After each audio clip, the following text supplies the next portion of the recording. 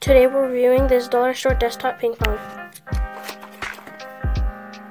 It includes one small net, two mini ping pong paddles, one mini ping pong ball, two suction cups, and two sticks to hold the net up. For setup, you, you just put these sticks into the suction cup and then put the net onto the sticks. So the suction cups don't, don't, don't work very well, so your net's going to be flimsy. And then after setup, you play. Okay, let's try that again. I'm still not good at this.